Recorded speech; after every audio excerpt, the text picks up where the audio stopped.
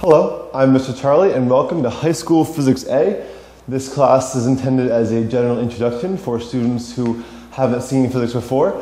Uh, I will not be teaching to any particular exam, for example, the SAT or the AP exam. There are other classes more suitable for that if you're trying to prepare for that. But it's going to be a good general introduction for students looking to kind of get their feet wet and see what physics is all about before taking some kind of year-long high school class.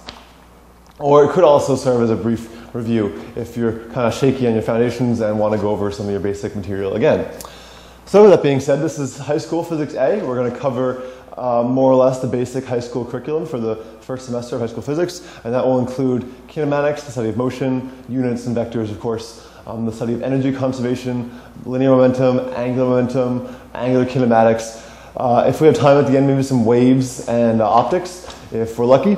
But for the most part, the, it's mostly focused on motion and what causes motion, why things move, how things move, how we relate their motion to their acceleration and energy, and just basically techniques for solving the motion of objects. Uh, physics B would, the physics B class will continue with a study of electricity and magnetism and maybe some quantum effects and some of these other, uh, other subsequent topics. So this is going to be all uh, fall under the umbrella of Newtonian physics or classical physics physics all developed by Isaac Newton himself.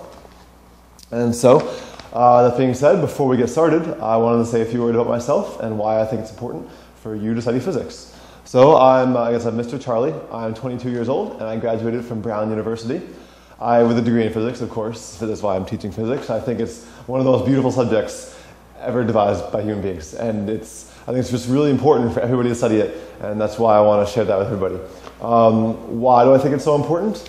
Well, I mean, on the one hand, physics is a very, is a very practical discipline. Uh, it increases your problem solving abilities. It helps you be able to look at a complex problem and reduce it to, and you know, eliminate all the unnecessary parts and reduce it to the few really qualitatively important aspects, and then neglect all of the kind of peripheral details uh, that just distract from the problem solving. And we'll be talking about that again later in this lesson.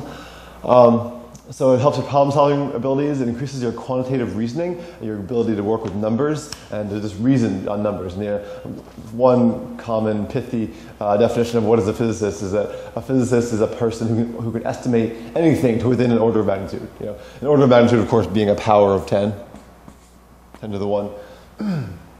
so anything from, you know, uh, 11 to, to 190 is with, uh, to, to 900 is within the order of 100, right?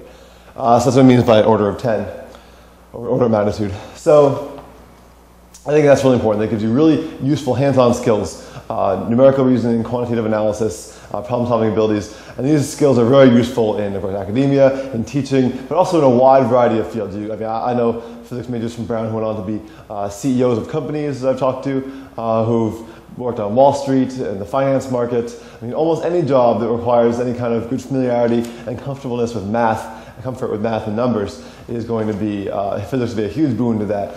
And that's something, most jobs these days, right? So that's the practical side. But on the most more romantic side, you know, this is why, that's not why I study physics. I don't study physics to get a good job. I personally chose to study physics because I had a deep passion and passionate curiosity about how the universe worked. I really wanted to understand that. And uh, what I came to realize throughout my years of studying physics is that it's not that understanding how the universe works, it's just an increased appreciation of reality, an appreciation of the beauty and the elegance and the complexity of the universe in which we live. You know, for example, I look at this board and I don't just see a you know,